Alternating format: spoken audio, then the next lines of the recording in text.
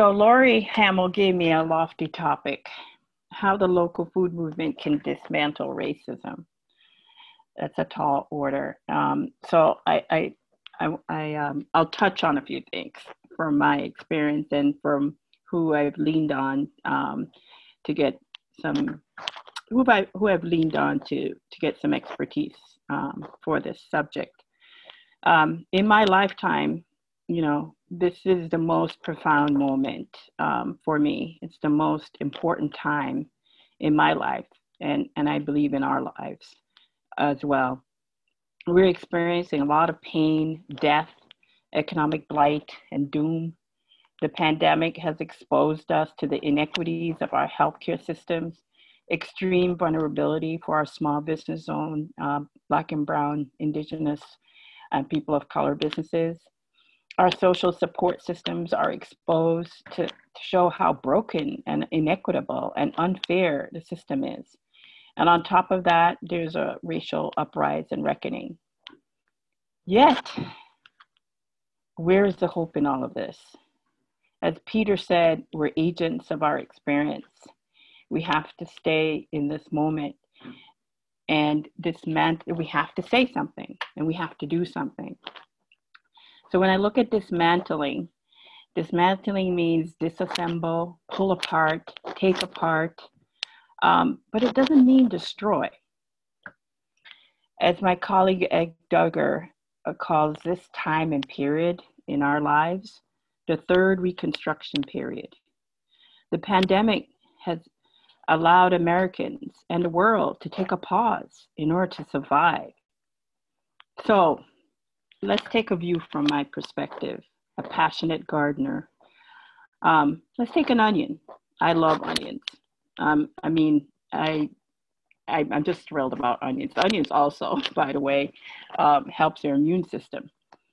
But as we cut into a, an onion, or I cut into an onion, it may look nice and shiny coat outside.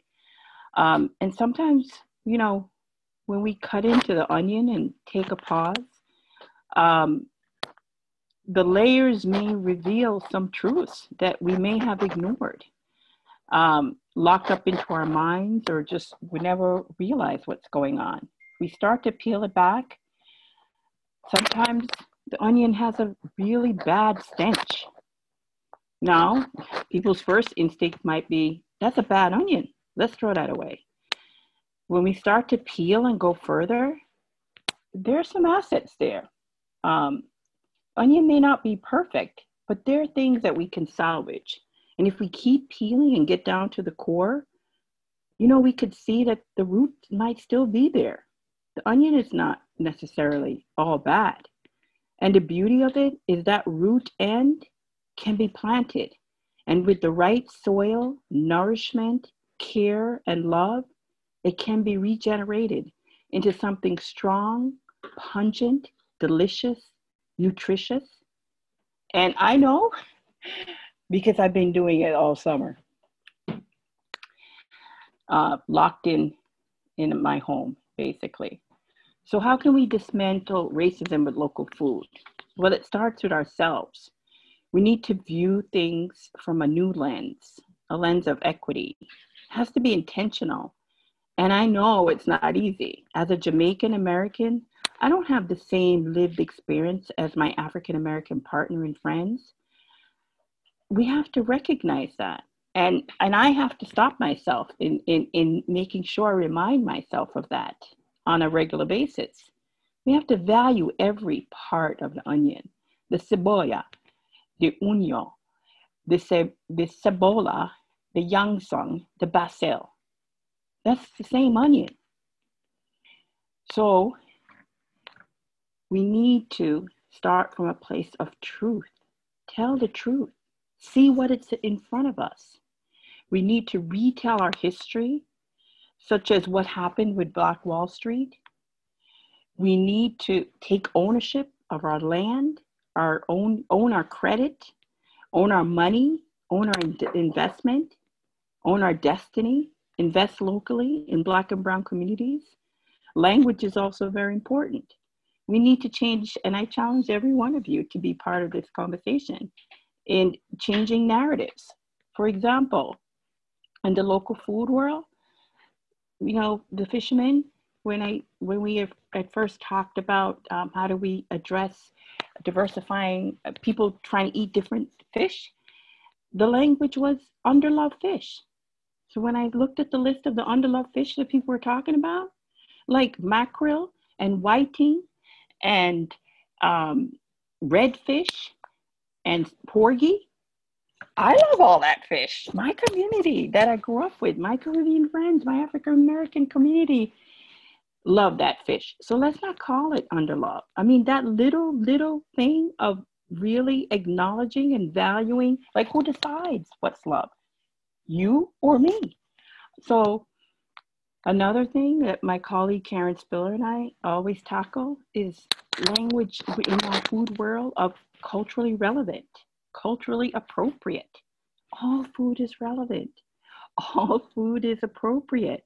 We're not valuing what is true. So let's start by even just changing the way we look at what's under love and love it, what's culturally relevant and call it culturally connected because it's appropriate. So even within our food systems, we are perpetuating things that are not valuing um, our community. We have to be brave, um, and we can't do this together uh, alone. We have to do it together. We need allies. We need white allies. And we have to do things differently. I'm hoping in the breakout session we could talk about farming and common good, looking at farming um, in a different way, like um, Cornelius Blanding has. He, he believes that farming is a civil service. It should be treated like a civil service. Um, so, Derek, how much more time do I have? We're good on time. Uh, take another minute or two if you need it. Okay. So um, I want to leave with a story, another metaphor from Cornelius um, Blanding. And he said that we're always fighting from behind. Having a conversation uh, about fair prices can happen once we get to level the playing field to the baseline. Only then can we talk about fair prices and fair, about prices and fair prices. That's a much needed conversation. But until we start by maintaining the land base first and then credit and debt, until then, talking about fair prices is almost like a luxury. And that is the shame in all of us. This gets to the way of even how we collaborate.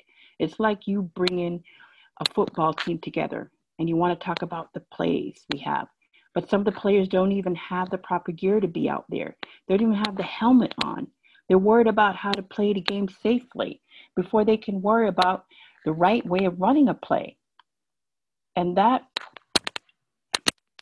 prevents you from operating as a team because you have so many players out there at different levels. And until you get all those players on the team at the same level, it's hard for the team to operate effectively as a team.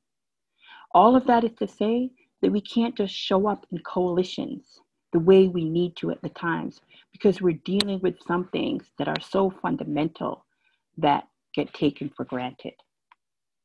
So there's hope, folks. We can dismantle, we can rebuild one onion at a time.